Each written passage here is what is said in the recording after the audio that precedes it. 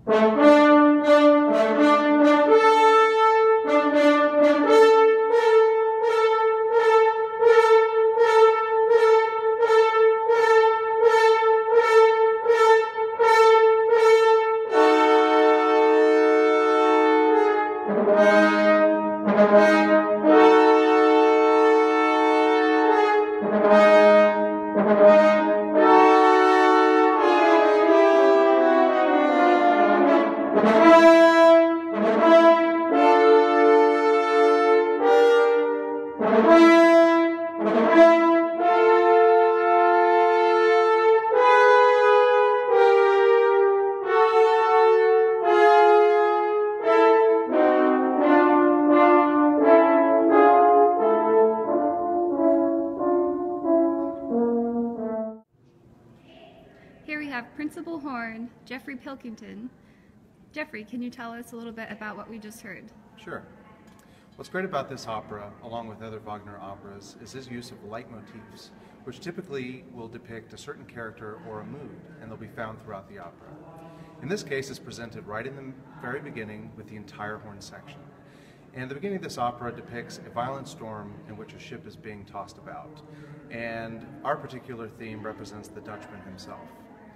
It's quite a thrill to be a member of the horn section and be presenting this opera for you, and we hope you'll join us. Thank you.